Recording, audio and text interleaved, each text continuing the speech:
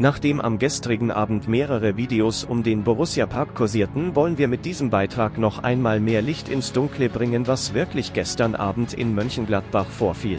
Die Szene der Borussia bereitete ab 17 Uhr anscheinend eine Choreografie für das heutige Derby vor.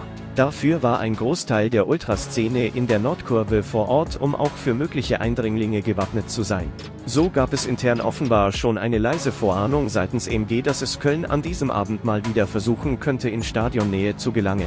Seit Nachmittag waren jedoch auch Dutzende Wannen der Staatsmacht am und um den Borussia Park unterwegs, um das Gelände möglichst abzusichern.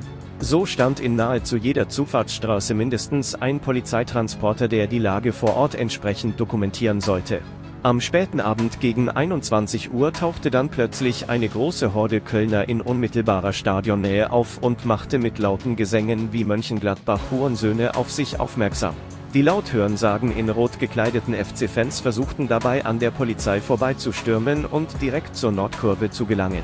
Der Haufen rund um Sottocultura und Co. erfuhr davon recht schnell und machte sich darauf geschlossen, in weißen T-Shirts aus dem Stadion um den ungebetenen Gästen entgegenzutreten. So stürmte Gladbach an den eigentlich gesicherten Toren des Borussia-Parks mit über 200 Personen aus dem Block und näherte sich den Kölnern.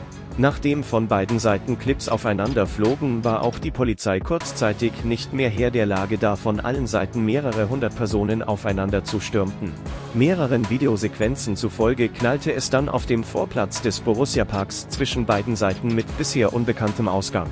Bis tief in die Nacht vermeldeten mehrere Quellen, dass beide Seiten im Anschluss seitens der Staatsmacht gekesselt wurden und sich einer Maßnahme unterziehen müssen. Ob also beide Szenen am heutigen Samstag im Stadion anwesend werden, ist bislang unklar, da es der Polizei erlaubt ist, jeden einzelnen Beteiligten bis nach Spielende in Gewahrsam zu nehmen und ihn erst dann wieder zu entlassen. Für mehr solcher Videos abonniere doch einfach diesen Kanal.